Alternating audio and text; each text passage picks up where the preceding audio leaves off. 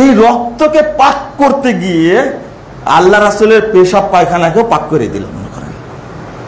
যে রক্ত যেমন খাওয়া যাবে নবী সাল্লাম পেশাব পায়খানাও খাওয়া যাবে। যার ভালো ইহকাল তার ভালো পরকাল মুসলিমদের বছরের প্রথম মাস মহরম আমরা আল্লাহর কাছে দোয়া করব। আল্লাহ রব্বুল আলমিন আমাদের এই বছরকে কল্যাণের সাথে, নিরাপত্তার সাথে অতিবাহিত করার তৌফিক দান করুন। এমন একটা দোয়াও আছে। আল্লাহর কাছে কল্যাণ চাইতে হয়, যেটা এর আগের আমি এক খুদ্াই বলেছি বিস্তারিত, আজকে সংক্ষেপে বলব। যখন মুসলিমরা বছরের প্রথমে পদার্পণ করে, তখন তারা আল্লাহর কাছে কল্যাণ চায়। পক্ষান্তরে বিধর্মীয় সংস্কৃতি হল, যখন বিভিন্ন দিবস আছে, আসে, তখন শিরিক কুফুর, তাগুত বেদাতের মধ্যে নিমজ্জিত হয়। যেমন আমাদের দেশে পহেলা বৈশাখ পালন করা হয়।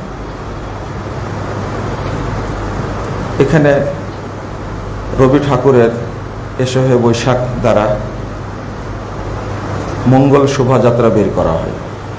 এটা পুরোটাই কুফুরি সংস্কৃতি এটা আর এই উদ্দেশ্যে বৈশাখী ভাষা ভাতাও দেওয়া হয়।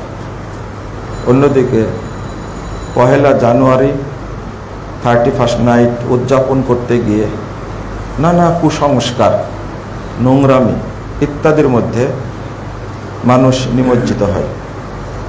আল্লাহ আমাদেরকে সমস্ত অপসংস্কৃতি থেকে হেফাজত করুন। আপনারা এগুলো খেয়াল করবেন। পাশাপাশি মুসলিমদের মহরম মাসে করণীয় নয় এবং দশ তারিখে সিয়াম রাখা। রসুল্লাহ সাল আলী আসাল্লাম বলছেন, যে ব্যক্তি নয় এবং দশ তারিখ সিয়াম রাখবে, আল্লাহ তার পূর্বের এক বছরের পাপ ক্ষমা করে দেবেন। দ্বিতীয়ত, সোরা তৌবার ছত্রিশ নম্বর আয়াতটা খুলে দেখবেন। আল্লাহ বলছেন, ইন্না ইদ্দাতা শহুর ইন্দাল্লাহ ইসনা আশারা শাহরা ফি কিতাবিল্লাহ। আল্লাহর কিতাবে বারোটি মাস আল্লাহর গুণনয় আছে। কোন দিন থেকে? যেদিন থেকে আসমান এবং জমিন সম্পর্কে সৃষ্টি করা হয়েছে। বারো মাস এটা আল্লাহর সৃষ্টি। যদিও বাঙ্গালি মাস গুণনায় এবং ইংরেজি মাস গুণনায় আমরা যে শব্দগুলো উল্লেখ করি, এগুলো বিভিন্ন মূর্তির নামে। কিন্তু আল্লাহ বলছেন আর বাহাতন হরুম। এই বারোটি মাসের মধ্যে চারটা মাস হারাম মাস। চারটা হারাম মাস কি কি? রসদাল্লাহ সাল্লাম বলছেন, একটা না তিন মাস, আর একটা আলাদা।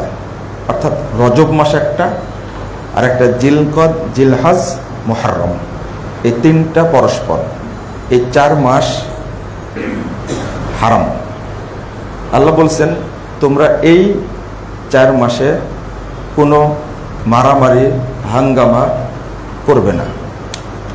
এই চারটা মাসকে জাহিলি যুগে সম্মান করা হতো। কিন্তু আমরা জানি না কখন রজব আসে, কখন মহারম আসে, আমাদের মুখস্থই নাই। তো এই চারটা মাসে জাহেলি যুগেও দ্বন্দ্ব ফসদ করা হতো না, কারণ তারাও সম্মান করত। দুইটা গোত্রে বা দুইটা দেশের যুদ্ধ চলছে, মাস আসলেই তারা যুদ্ধ বন্ধ করে দিত। আমরা যেহেতু জানি না, আমরা তো কখন মহারম আর কখন সফর মাস আসে, কখন জিলকদ আসে এইগুলো আমাদের স্মরণে থাকে না, আর এটা মাস যে সম্মানী মাস, এটাও আমরা জানি না। যার কারণে এই মাসগুলোর মধ্যেও আমরা দ্বন্দ্ব, ফাসাদ ইত্যাদি করে থাকি। এই চারটা মাস হারাম।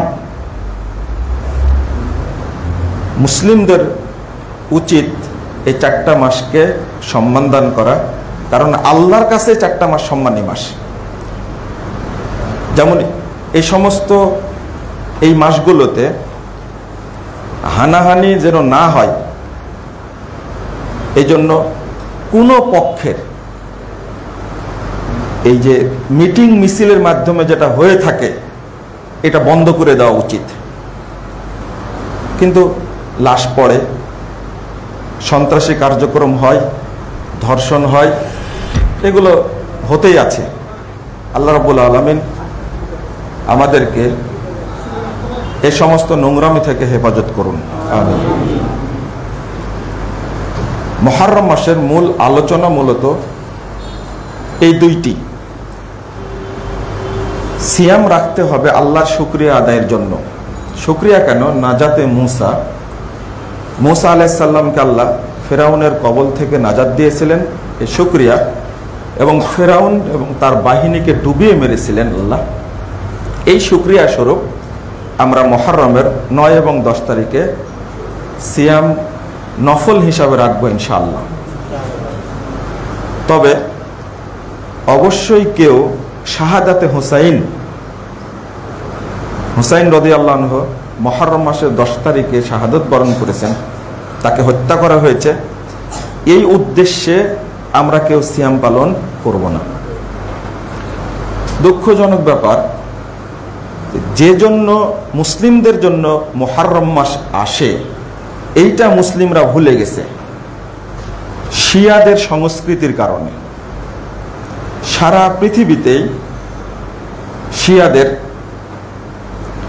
প্রভাব আছে, বিশেষ করে উপমহাদেশে শিয়াদের প্রভাবটা বেশি। এই প্রভাবটা কিন্তু আগে ছিল না। ইখতিয়ার উদ্দিন মোহাম্মদ বিন বখতিয়ার খিলজি যখন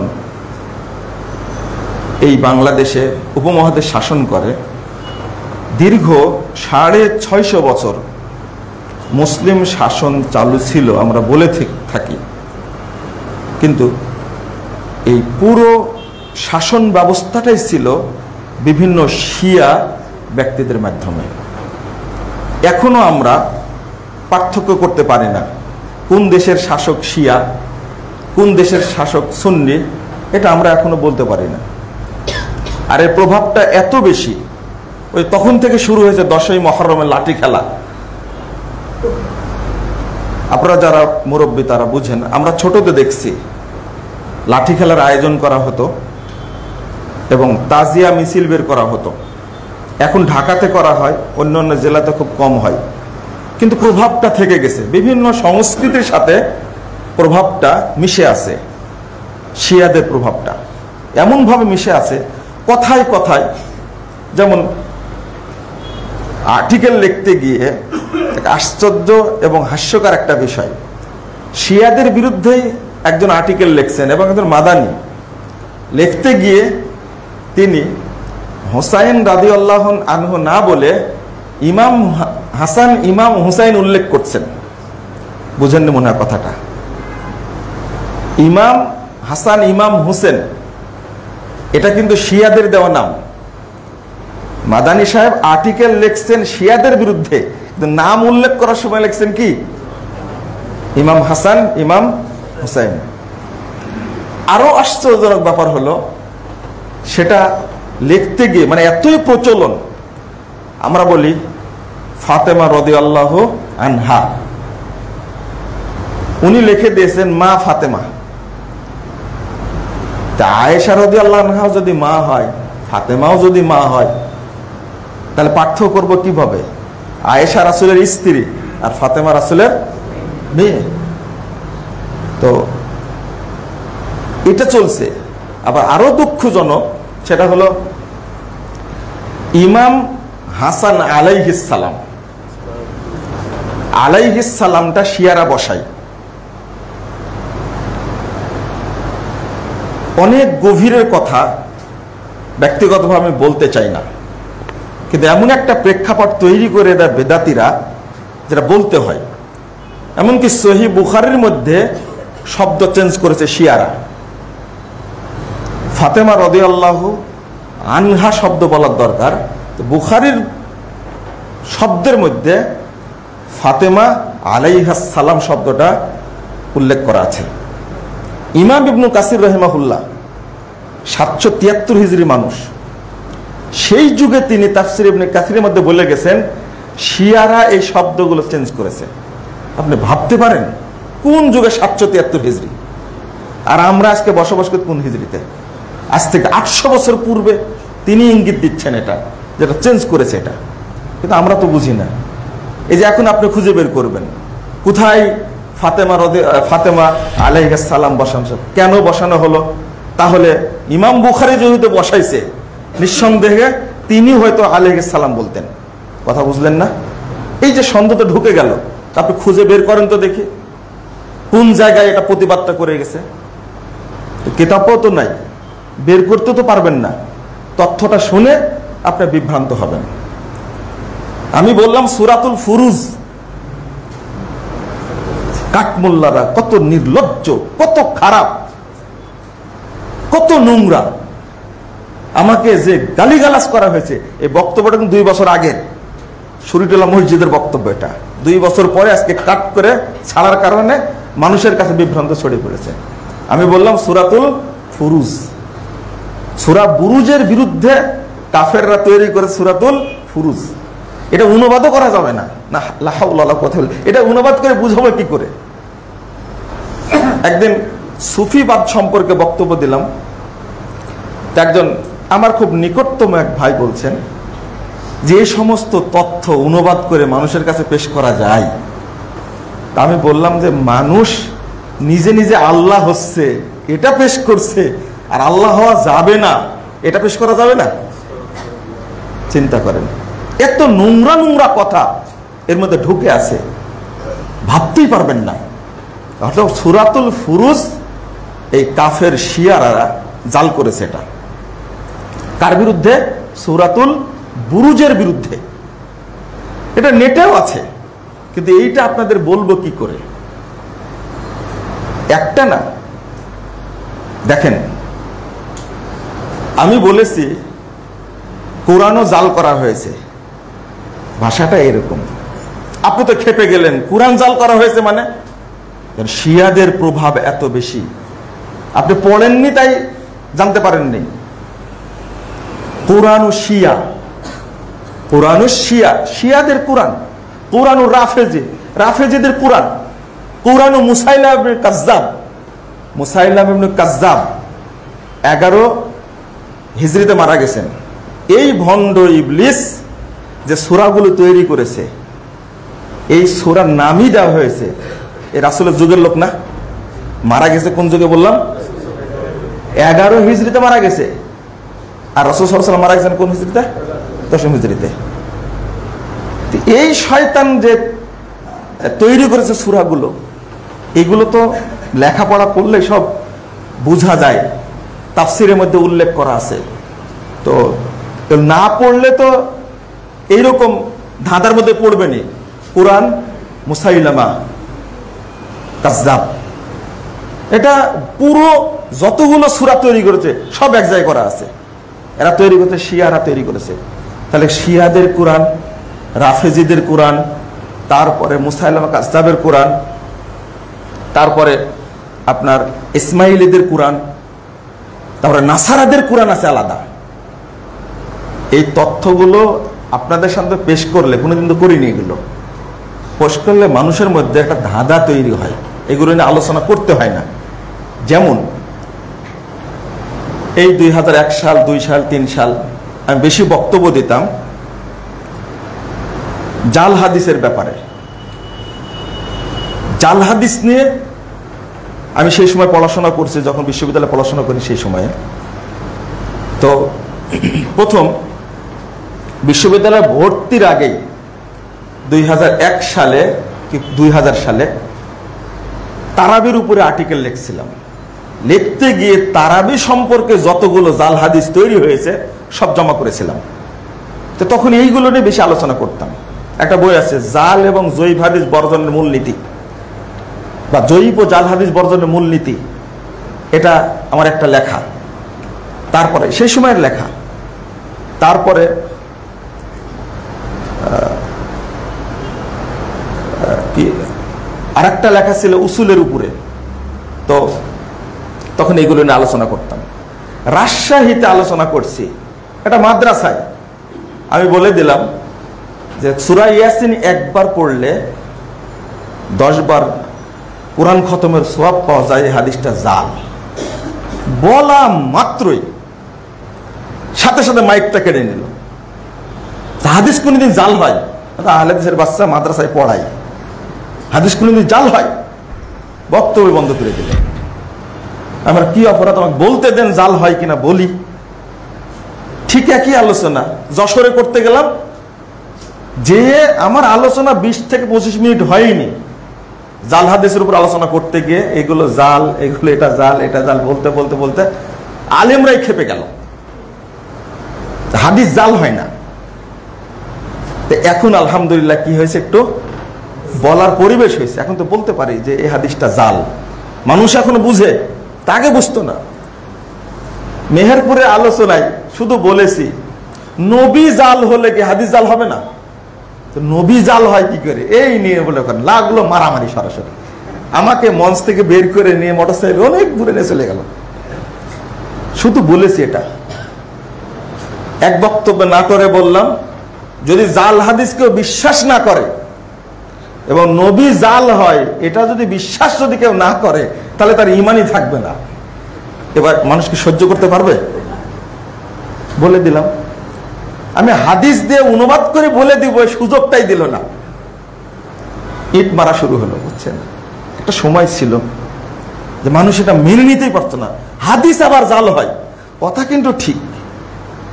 রাসুল সাল্লাহ সাল্লামের হাদিস যেটা সে জাল হবে কেন? কিন্তু রসুল সাল্লাহ সাল্লাম নিজেই যে বলে গেছেন, আল্লাহ রব্বুল আলম যে আয়াত নাজিল করেছেন, যে হাদিস জাল হবে রসুল্লাহ সাল্লাম বলেছেন যে মান কেদেবা যে ব্যক্তি আমার উপরে মিথ্যাচার করবে ফালিয়া সেজন্য তার স্থান জাহান্নামে করে নাই। এটা হাদিসটা কেন বললেন? সাল্লাম বলছেন হাদিস। আমার পক্ষ থেকে হাদিস বর্ণনা করতে ভয় করো, সাবধান থেকো, সাবধানতা অবলম্বন করো। মাইয়াকুল আলাইয়া, ফালিয়াকুল হাক্কান সিদকা। কেউ যদি আমার সম্পর্কে কথা বলে, তাহলে হকটা বলে, সত্যটা যেন বলে।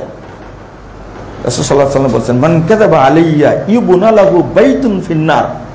যে আমার উপরে মিথ্যাচার করবে মিথ্যা কথা বলবে তার স্থান জাহান্নামে হবে। কত? মান হাদ্দাথা বি হাদিসিন ইউরা আন্নাহু কাযিব ফাহুয়া আহাদুল কাযিবিন। কত হাদিস বর্ণনা করলেন? কেন বর্ণনা করলেন এগুলো? রাসূল সাল্লাল্লাহু আলাইহি ওয়াসাল্লাম মিথ্যাচার করা হবে। তিনি ইঙ্গিত দিয়ে গেছেন। মিদাদুল উলামা খৈরুম মিন দিমাই সুহাদা অর্থাৎ আলেমদের কলমের কালি শহীদদের রক্তর চেয়েও দামি। নাউজুবিল্লাহ বলেন। আলেমদের কলমের কালি শহীদদের রক্তের চেয়েও দামি। কত বড় ডাহা মিথ্যা কথা, এগুলো সব শিয়ারা জাল করেছে। উতলুবুল ইলমা, ওয়ালাউ কানা বিসিন। চীন দেশে গিয়ে হলে এলেম শিক্ষা করো। এটা একটা প্রসিদ্ধ জাল হাদিস। হব্বুল ওয়াতান মিনাল ইমান দেশকে ভালোবাসা ইমানের অঙ্গ। এটা প্রসিদ্ধ জাল হাদিস।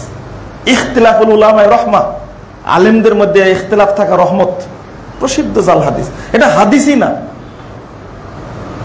তো আরও আছে। আল্লাহ সম্পর্কে কথা বলা হয়েছে। তারপরে শ্রেষ্ঠ জাল হাদিস একটা। লাউলা কালামা খলাক্তুল আফলাক। হে মোহাম্মদ, আমি তোমাকে সৃষ্টি না করলে পৃথিবীর কোনো কিছু সৃষ্টি করতাম না। তারপরে আদম আলাহিসাল্লাম আল্লাহর কাছে ক্ষমা চাইলেন। টাকা দেখলেন আরসের পায়াতে লেখা আছে লাহ মোহাম্মদ রসুল্লাহ আল্লাহ জিজ্ঞেস করলেন, তুমি মোহাম্মদের নাম কোথায় পেলে? ওই যে আরসের পায়াতে লেখা আছে, দেখলাম আমি মোহাম্মদের ওসিলায় তোমার কাছে চাইছি। এই জন্য আল্লাহ আদমকে ক্ষমা করে দিলেন। মোহাম্মদের ওসিলায় চাওয়া যাবে? জাল হাদিস একটা। তারপরে নূরি। প্রথম সৃষ্টি করা আল্লাহ সৃষ্টি করেছে আমার নূরকে। অর্থাৎ আল্লাহর নূরে নবী পয়দা, নবীর নূরে সারা জাহান পয়দা। এখন সব আবে- আগে ছিল সব মুবারক, এখন হয়ে গেছে কি? প্রথম স্তর ছিল শরীফ। মাজার শরীফ, কোরআন শরীফ, হাদিস শরীফ, মক্কা শরীফ, মদিনা শরীফ তারপরে দরগা শরীফ, তারপরে খানকা শরীফ তারপরে হলো সব মুবারক। কি মুবারক? জুমা জুমা মুবারক, রমাজান মুবারক, জুতা মুবারক, পায়খানা মুবারক, ঈদ মুবারক, সব মুবারক। এখন মুবারক বাদ চলে গেছে। এখন হচ্ছে নুরানি টুপি, নুরানি পায়জামা, নুরানি পাঞ্জাবি, নুরানি কুরআন, নুরানি কায়দা, নুরানি আতর, নুরানি পাগড়ি নুরা- নুরানি জুব্বা। বুঝেননি কথা? নুরানি মক্তবের নাম দিয়েছে কি? নুরানি। ওরা বুঝেছে যে নবীর নূরে, আল্লাহর নূরে নবী পয়দা, নবীর নূরে সারা জাহান পয়দা হয়, তাহলে সবই তো নূর হওয়ার কথা। নুরানি পায়খানা, নুরানি পেশাব। আশ্চর্য একটা ঘটনা। আপনারা তো বুঝবেন না এগুলো। নুরানি নাম দিল কেন এগুলো? আরে, এমন পর্যন্ত গেল সুফিরা এত খারাপের খারাপ। রসুল সাল্লাহ হুজুর সাল্লাহ সাল্লাম কি ফজলাত পেশাব আর পায়খানা সব পাক है তবলিগের কিতাবে লেখা আছে, একবার উর্দু কিতাব থেকে বলছি। রক্তকে পাক বলতে গিয়ে আল্লাহ রাসুলের রক্তকে পাক, রক্ত কি পাক না মানে নাপাক? নাপাক। এই রক্তকে পাক করতে গিয়ে আল্লাহ রাসুলের পেশাব পায়খানাকেও পাক করে দিল। করেন যে রক্ত যেমন খাওয়া যাবে, নবী সাল্লাম পেশাব পায়খানাও খাওয়া যাবে। এখন সব হচ্ছে নুরানি। আমাদের মাদ্রাসার নাম দিয়েছে মক্তবরা নুরানি। আমি বেদব মক্তব ছিল নুরানি হলে কি করো? সবাই নুরানি লেখে। তো তোমার ইতিহাসে জানো নুরানি লেখলে কেন? বলতেন, মক্তব মক্তবই বলবেন। নুরানি কেন বলবেন? কোরআন মাজিদ গোটা দুনিয়ায় প্রচার করেছে কোরআন শরীফ। এতগুলো পঞ্চান্নটা কোরআন নাম উল্লেখ করেছেন আল্লাহ রব্বুল আলমিন। কোন জায়গায় শরীফ উল্লেখ করেননি। আর আমরা এমন মর্যাদা দিয়েছি, কোরআনের বারোটা বাজায় নাম দিয়েছি কি? বুখারি সহি বুখারি নাম দেইনি। বুখারি অনুবাদ করতে গিয়ে বারোটা বাজায়া। ইসলাম ফাউন্ডেশনের বুখারি বারোটা বাজাইছে। এই যে সাইকুল হাদিসের বুখারি অনুবাদ করতে গিয়ে আইজুল হক সাহেব বুখারির বারোটা বাজাইছে। তারপরে আধুনিক প্রকাশনী বুখারি অনুবাদ করতে গিয়ে বুখারি বারোটা বাজাইছে। আধুনিক প্রকাশনের বাপের বুখারি অনুবাদ করতে গেল কেন? ইসলামিক ফাউন্ডেশনের বাপের বুখারি অনুবাদ করতে গেল কেন? ঠাকুর মশারা অনুবাদ করতে গিয়ে বুখারির বারোটা বাজাইছে। এক শয়তান তো মারাই গেছে। ইসলাম ফাউন্ডেশন ডিজি ছিল। বুখারির পৃষ্ঠায় পৃষ্ঠায় বুখারি অনুবাদ এরা তাহারিফ করেছে, নষ্ট করে দিছে এটা। আল্লাহর পক্ষ নাজিল হওয়া বিধান যারা অপমান করতে চাইবে তারাই ধ্বংস হয়ে যাবে ইনশাল্লাহ ওরা নিজেরা টিকতে পারবে না। অনুবাদ করতে গেলে কেন? তোমার লজ্জা নাই? সরম নাই? বেহায়া কোথাকার? তুমি কোরআন নিয়ে ব্যবসা করো, হাদিস নিয়ে ব্যবসা করো। শিয়াদের মতো তোমরাও কোরআনকে জাল করার চেষ্টা করছ, হাদিসকে জাল করার চেষ্টা করছ। আজকে শিয়াদের যে প্রভাব আমাদের মন মগজে ঢুকে গেছে, যার কারণে ওই সেই- সময় শিয়াদের বংশধররা খেপে যেত। জাল হাদিস বললেই এই হাদিসটা জাল। কারণ জাল হাদিসের এই বুঝটা যদি মানুষকে বোঝানো যায় ইনশাল্লাহ বাংলাদেশের মানুষ দ্রুত সংস্কার হবে ইনশাল্লাহ এটা ওরা বুঝতে পেরেছে। আজকে আমি বক্তব্য দিলাম। বক্তব্যটা ছিল হাদিস অস্বীকারীদের বিরুদ্ধে। তাই না? আমার বক্তব্যটা ছিল, কেউ জানে না বক্তব্যটা আমি কেন দিয়েছি। ওদের একটা যুক্তি হাদিস অস্বীকারী, এরাই এরাই বক্তব্যটা এখন বেশি প্রচার করছে। ছোট্ট কাট করে প্রচার করছে। মাঝখান থেকে যারা প্রচারক, তারা নিজেরাই তাজা আয়াত জাল করেছে। এটা নিয়ে কোনো কথা নাই। একজনের এমন তাজা জব দেখায় এমন তাজা হয়েছে, ও পুরানের আয়াত জাল করেছে। বলছে কি, ইয়া ওয়াইলাতা লাইতানি লাম আত্তাখিজ দেওয়ানবাগি খলিলা। কোরআনের শব্দের মধ্যে এই বদমাসটা কেমনে এই অপবিত্র, ভণ্ড, নোংরা খাটাস এই রকম লোকের নাম ঢুকালো কি করে আয়াতের মধ্যে? আপনারা মনে বুঝেননি কথাটা। আমি এইগুলোর পিছনে থাকি না। আমি লেখালেখির কাজে ব্যস্ত থাকি, কিন্তু এর পিছনে দৌড়াবে কে? এই যে কথাগুলো না বলে আমি যদি আজকের টপিক্সের উপরে আলোচনা করতাম আপনাদের অনেক উপকার হতো। কিন্তু আপনারাও চান। মানে আমাদের মাথা তো ভূত ঢুকেছে। এত ফোন করেছে। আপনি সুরা বুরুজকে জাল বললেন কি কেমনে? আচ্ছা, আপনার মতো আকেলমান মানুষ এই প্রশ্নটা করলেন বক্তব্যটা শুনেন তো কি বলেছে? পরে উল্টা বলছে তো আপনি তো ফুরুজ না কি বলতেছেন? এই উচ্চারণটা আপনি জানেন জানেন না। লা হাওলা ওয়ালা কুওয়াতা ইল্লা বিল্লাহ। হাদিস অস্বীকারীদের যুক্তি হলো হাদিসের মধ্যে জাল আছে, জয়ীফ আছে। এই জন্য হাদিস মানা যাবে না। এর বিরুদ্ধে আমি বলেছিলাম যে কোরআনও তো জাল করেছে বিভিন্ন গুরু। কোরআন নাকি জাল নাই, বুঝেননি কথা? এখনও বুঝাতে আপনাদের সমস্যা হচ্ছে, আমি বুঝতে পারছি। আপনাদের মাথায় ঢুকে আছে কোরআনকে আল্লাহ হেফাজত করেছেন। এই কোরআন জাল হয় কেমনে? রাসূল যে হাদিস বলেছেন, এই হাদিস জাল হয় কেমনে? যখন বললাম, রাসুল বলছেন যে ইয়াকুনু ফি আখির জামান। এবারটা ভুলে যাচ্ছে। আল্লাহ রাসূল সাল্লাল্লাহু আলাইহি ওয়াসাল্লাম বলছেন যে, শেষ জামানায় তিরিশ জনের অধিক ভণ্ড নবীর আবির্ভাব হবে। কুল্লুহুম ইয়াকুলু আন প্রত্যেক জনই বলবে, আমি আল্লাহ রাসূল। কাযাবুনা এই তিরিশ জন আকরাব বিন সালাতিন প্রায় তিরিশ জনের মতো দাজ্জাল বের হবে, কাদ্দাবুন মিথ্যুক বের হবে। কুল্লুহুম ইয়াকুলু আনা রাসূলুল্লাহ। এই তিরিশ জনই বলবে, আমি আল্লাহ রসুল। পাঁচশো নয় পৃষ্ঠার হাদিস সহি বুখারের মধ্যে এসেছে। আল্লাহ রাসুল এই কথা বলার পরে বলছেন, এরপর আল্লাহ রাসুল বলছেন যে, আনা খতামন নবীন, লা নাবিয়া বাদি। মনে রেখো, আমি হলাম শেষ নবী, আমার পরে কোনো নবী আসবে না। আপনি একটু চিন্তা করে নেন। রসুল সাল্লাহ সাল্লাম বললেন যে, আমার পরে শেষ জামানায় কতজন নবী আসবে? তিরিশের অধিক ভণ্ড নবী আসবে। আচ্ছা ভণ্ড নবীরা মিথ্যা কথা বলতে পারে না। ভণ্ড নবী তো মিথ্যা কথা বলতে পারে। মিথ্যুক নবী। দাজ্জাল নবী মিথ্যা কথা বলবে না। তারা যা বলবে সব মিথ্যাই তো বলবে। হাদিস জাল হতে পারে না তাহলে? একটা হাদিস আপনি বিশ্বাস না করলে আপনি মুসলমানই থাকবেন না। সে হাদিসটা কি? লা নাবিয়া বাদি। আমার পরে কোনো নবী আসবেন না।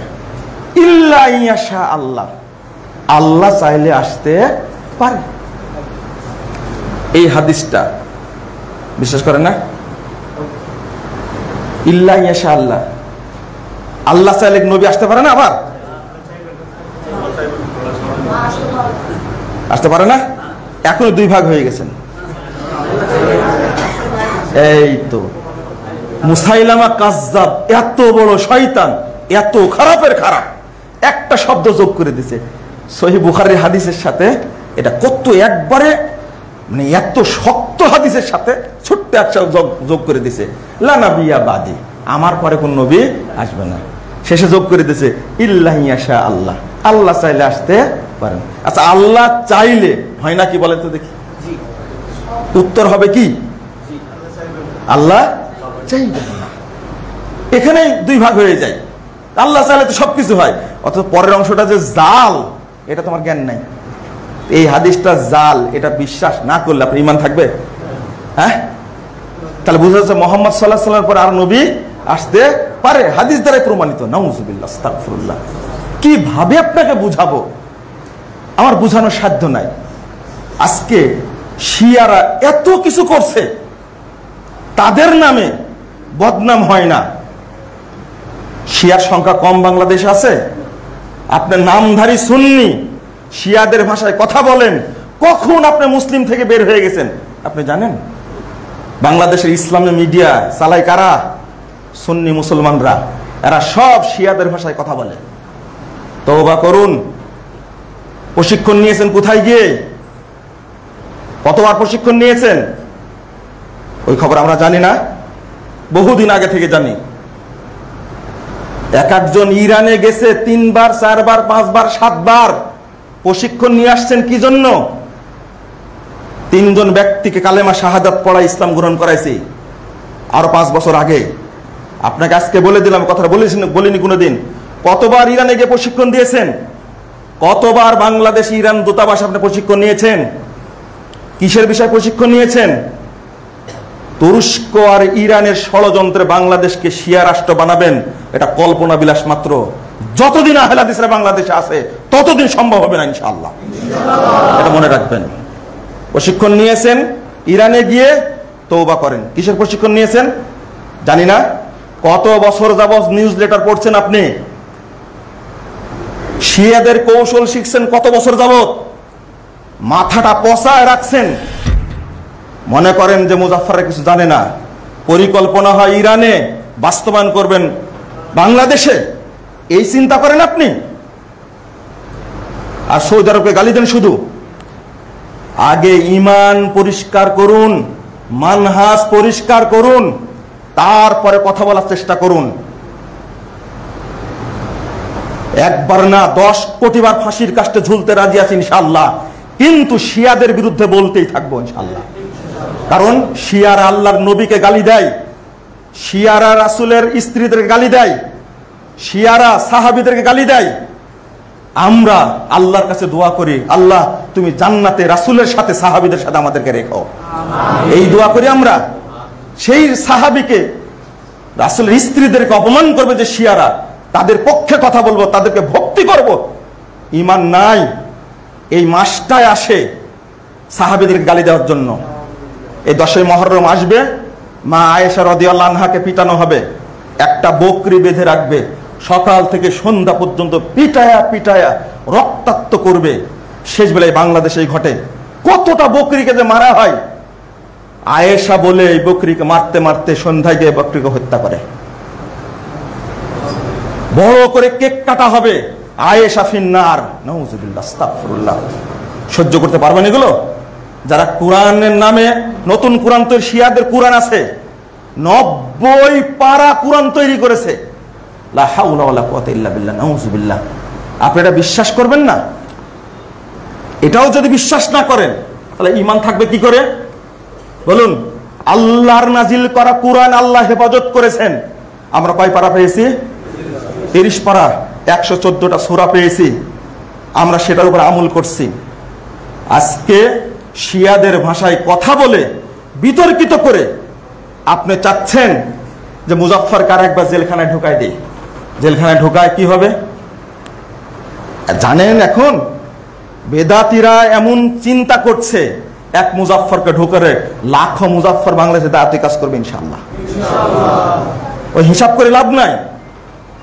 শাহ ইসমাইল শহীদকে হত্যা করা হয়েছে সাইয়েদ আহমদ শহীদকে হত্যা করা হয়েছে তিতুমিরকে মারা হয়েছে কিন্তু ইংরেজ কাকে টিকতে পেরেছে? ইংরেজরা বিদায় নিয়েছে। তারা মারা গেছে বলে স্বাধীনতা আন্দোলন বন্ধ ছিল। এমনটা নয়, ইংরেজরা পালিয়েছে। তোমরা যদি আজকে ষড়যন্ত্র করো, তুমি মনে করো জাকির নায়ককে ইন্ডিয়া থেকে তারা দেয় খুব ভালো করেছে? জায়গা, জমি, ঘর, বাড়ি, আত্মীয় স্বজন ছাড়া আজকে মালয়েশিয়া গিয়ে পড়ে আছেন একজন যাযাবরের মতো। সেই জাকির নায়কের বিরুদ্ধে কাফের ফতোয়া দিল মুসলমানরা। তুমি ইহুদের বিরুদ্ধে কথা বলতে পারো না, শিয়াদের বিরুদ্ধে কথা বলতে পারো না, তুমি এই কাদিয়ানিদের বিরুদ্ধে কথা বলতে পারো না। আর তুমি সুন্নি হয়ে সুন্নিদের বিরুদ্ধে কথা বলো। এটা কি? এক আশ্চর্য। মনে রেখো, ষড়যন্ত্র করে কখনো মিথ্যা দ্বারা কখনো সত্যকে ঢাকা যায় না। আজীবন মিথ্যা পরাভূত। আল্লাহ বলে দিয়েছেন অকুল জাল হাক ওয়া জাহাকাল বাতিল, ইন্নাল বাতিল কানা জাহুকা। আশ্চর্য! সবে বরাতে বিরুদ্ধে বলেছি, একজন, দুইজন নাই, বারো জন আলেমের বিরুদ্ধে মামলা করেছে। তদন্ত করে ফাইনালি রিপোর্ট দিয়েছিল আটজন না ছয় জনের বিরুদ্ধে। আলহামদুলিল্লাহ, গতকালকে বিচারককে ধন্যবাদ জানাই। গতকাল বিচারক দুই উকিলের কথা শুনে, আমাদের উকিল ছিলেন একজন খুব বাগড়াসী উকিল। আচ্ছা ধুনা ধুনেছেন। শেষে ম্যাজিস্ট্রেট জাজ সাহেব তাদের উকিলের সাথে কথা বলে বলছে, এইগুলো একটা ধর্মীয় বিতর্ক। শিয়ারা এত কথা বলছে, তাদের বিরুদ্ধে মামলা করেন না। কাদিয়ানিরা এত কথা বলছে, মামলা করেন না। তাদের বিরুদ্ধে মামলা করলেন। পরে মামলাটা খারিজ করে দিয়েছে, আলহামদুলিল্লাহ। সবে বরাতের বিরুদ্ধে বলেছে, মামলা করেছে। আপনি ভাবতে পারেন, বৃদ্ধ মানুষ জেলখানায় আছে, ভুয়া, মিথ্যা, জঘন্য, এই মামলাটার জন্য কাজী ইব্রাহিম সাহেবকে গতকালকে হাজির করেছে। এই নোংরা, মিথ্যা মামলার জন্য। একজন কোরআনের হাফেজ। তোমার লজ্জা হয় না, শরম হয় না? আমি বহুদিন আগেই বলেছি, দুই চারটা কথায় আমাদের সাথে একমত না হলেও কোরআনের হাফেজ আলেম হিসাবে তাকে সম্মান করি। মুক্তি চেয়েছে বহুবার গত সম্পাদকীয় পত্রিকাতে বলে দিছে, সাবধান আলেমদেরকে শেষরানো করা, এইভাবে ষড়যন্ত্র করে জেলখানায় ঢুকানো। পিস টিভি কারা বন্ধ করেছে? আমি লীগ বন্ধ করেছে? বিএনপি বন্ধ করেছে, এই ধর্ম ব্যবসায়ী পাগড়ি আলারা টুপি আলারা পিস বন্ধ করেছে। ওখানে আলোচনা করতে যে আহলাদিসরা, এই জন্য সহ্য হয়নি এদের। জাতির নায়ক আসলে এয়ারপোর্ট ঘেরাও করা হবে। কত নোংরা, অপবিত্র, দাজ্জাল বাংলাদেশে ঘুরে যাচ্ছে। তোমরা খোঁজই রাখো না।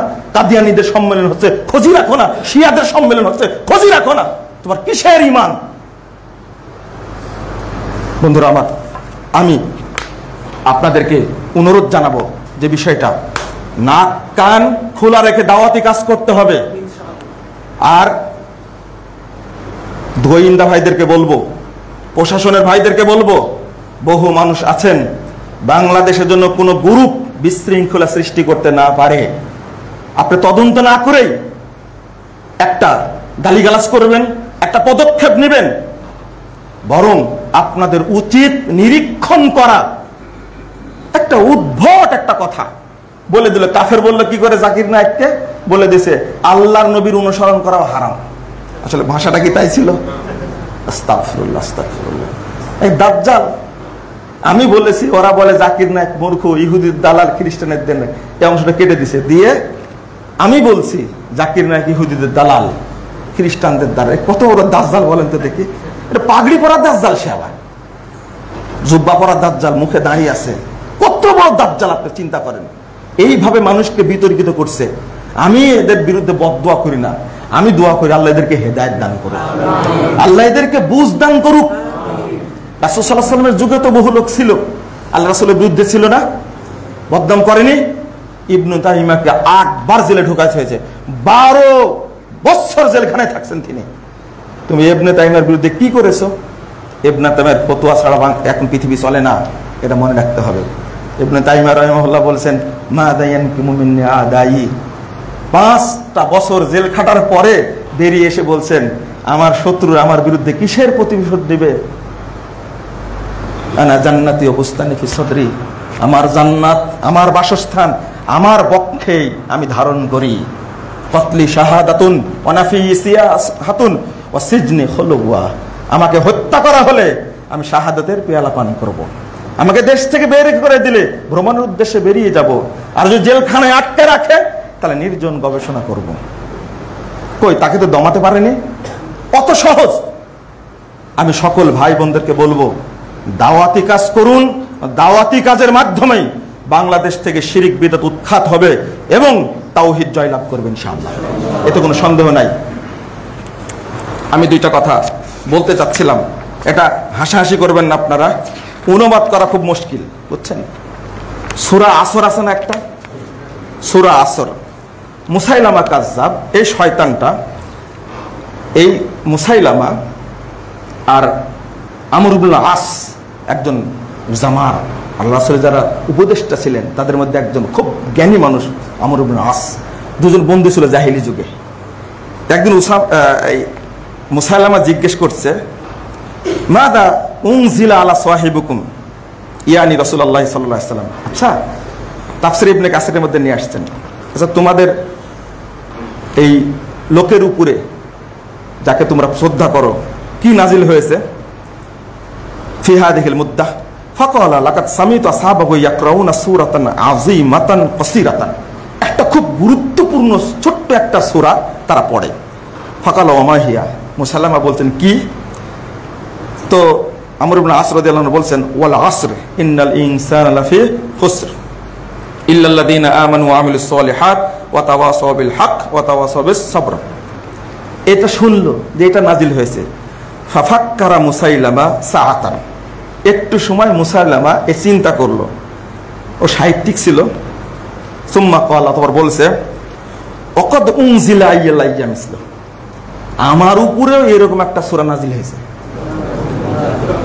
সেটা কি? এখন বলছে, ওমা হুয়া। তখন জিজ্ঞেস জিজ্ঞেস করছেন আমার না সেটা কি? তখন ও বলছে, ইয়া অবার ইন্নামা আংতা উদনানে ওয়া সদর ওয়া সাইরুকা হাকার ওয়া নাকার। কি বুঝলেন আপনি? কি বুঝলেন? ও ও নিজে একটা সুরার সাথে সাথে তৈরি করে ফেলেছে। বলছে, ইয়া অবার অবার মানে হলো আপনার খরগোশ বুঝেন তো, খরগোশ। বিড়াল কেউ কেউ বলছে বিড়াল তো বলছে ইয়া অবার ইন্নামা আংতা উজনান সদার। তোমার দুইটা কান আছে আর একটা বুক আছে হুম। তারপর অস্থায়ী রুকা হাকার ও নাকার। আর তোমার কাজ হলো সব জায়গায় ঘুরে ঘুরে ছোট ছোট গর্ত করা। আচ্ছা এটা কোনো কথা হইল এটা কোনো এর মধ্যে আচ্ছা, প্রতিবাদ করে একজন মহাদ্দেশ বলছেন এর মধ্যে কোনো সাধনায় ভাষা জ্ঞান নাই তা সেই যুগে আচ্ছা এইটা কি বর্ণনা করার দরকার আছে? তো মুসাইলামাই শয়তান তৈরি করেছে এই সুরা। তারপরে সুরা নাজিয়াতের বিরুদ্ধে ও সুরা তৈরি করেছে। শুধু একটা, খ্রিস্টানরা সুরা তৈরি করছে। আচ্ছা আলহামদুলিল্লাহ সুরা, খ্রিস্টানরা যেটা তৈরি করে, সুরা ফাতেহা, এটা তো শুনেননি কোনোদিন। আজকে শুনাই দিই। খ্রিস্টানরা তৈরি করেছে। ইমাম কাসির নিয়ে আসছেন। কি বলছে জানেন? আলহামদুলিল্লাহ রহমান, রব্বিল আকওয়ান, আল মালিকিল দিয়ান, লাকাল ইবাদাতু ওয়াবিকাল মুস্তাআন, ইহদিনা সিরাতাল ইমান এটা সূরা ফাতিহা তৈরি করেছে ওরা। খ্রিস্টানরা তৈরি করেছে এটা সূরা ফাতিহা। তাহলে এই তৈরি করা কুরআন, তাহলে খ্রিস্টানদের কোরআন আছে? তাদের কোরআনের মধ্যে এটা আছে। কোন মুসলিম কি এটা মেনে নিতে পারে? ইমান থাকবে? আমাকে তিন দিন আগে জিজ্ঞেস করছে ফোন দিয়ে। আচ্ছা আপনি কি সুরা বুরুজ বিশ্বাস করেন? প্রথম প্রশ্ন। আমি বললাম যে হ্যাঁ বিশ্বাস করি। আপনি কি মনে করেন সুরা ফুরুজ বুরুজ যদি কেউ বিশ্বাস না করে, তাহলে তার ইমান থাকবে? বলছে, না ইমান থাকবে না, সে কাফের হয়ে যাবে। তাহলে আপনি কেন সুরা বুরুজেরকে বললেন, জাল আমার উপর চাপাই দিল কথাটা। আমি তো বুঝছি কোন জায়গায় কথা আসবে শেষে। মানে এত মূর্খ মানুষ তৈরি হয়েছে। আর এইগুলো বলার মতো না। সুরাফিল আছে না একটা? আছে? এই মুসাইলামা শয়তান তৈরি করেছে সুরাফিল কি তৈরি করেছে দেখেন? আলফিল ওমা আদ্রাকাম আলফিল দেখেন। লাহু জালুমুন তবিল তবিল। ইন্না দালিকা মিন খলকি রব্বিনাল জালিল। এটা অর্থ করলে খারাপ হবে।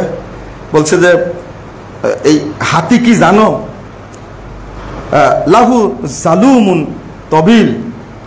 তার বলছে, তার আছে জালুম মানে পা, খুর খুর। তার বড় বড় খুর আছে। তারপরে বলছে, ইন্না রব, ইন্না দালিকা মিল খলকি রব্বিনাল জালিল। এটা মানে সম্মানিত আল্লাহর একটা সৃষ্টি। এটা তারা কি হলো বলেন তো দেখি। অথচ সুরাফিল কি আছে? কি? আলাম তারা? এখানে পুরোটা ঘটনা কিসের? আর ও তৈরি করল কি? আর একটা তৈরি করছে কি জানেন? ওইভাবে। আলফিল ওমাহাদ রকামাল ফিল, লাহু দাম্বুন ওয়াবিল, ওয়া খুরতুম তবিল। বলছে, লাহু দাম্বুল অবিল তার শক্ত লেজ আছে, ওয়া খুরতুম তবিল। আর তার লম্বা সুর আছে। এটা দ্বারা কি হলো? হাতির বর্ণনা সুরা কাউসার নামে সুরা তৈরি করছে। সুরা কাউসার আছে না? তৈরি করেছে কি? আল জামাহের। কি লেখছে? ইন্না আতাইনা কাল জামাহের, ফাসল্লি রব্বিকা ওয়াহাজের ওয়ালা তুতি কুল্লা সাহির না কাফের। কি বুঝলেন আপনি? সুরা আলা তৈরি করেছে? সুরা আলা আছে না? আলার বিরুদ্ধে সুরা তৈরি করেছে। কি তৈরি করেছে? সাব্বিহ ইসমা।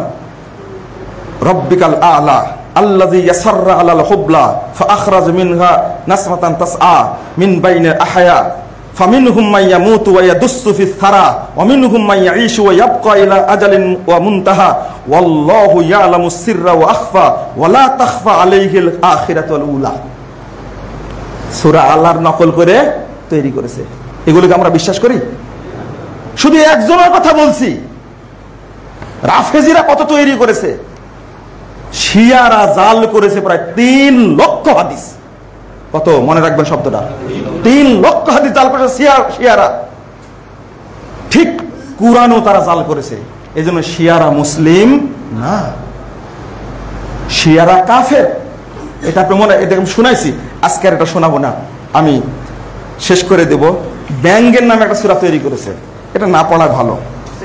সুরা নেশা মুসাইলামা কাজ্জাব নেশা নামে তৈরি করেছে। এটা আমি অনুবাদ করব না। খুব নোংরা কথা।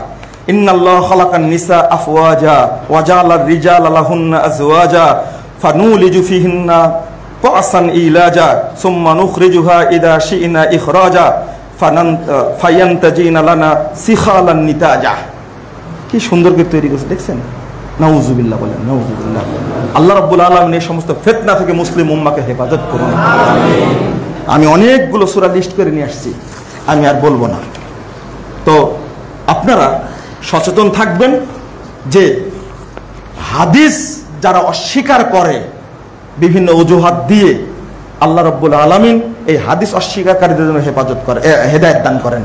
আল্লাহ রব্বুল আলমিন যেন মুসলিম উম্মাকে এদের ফেতনা থেকে হেফাজত করেন।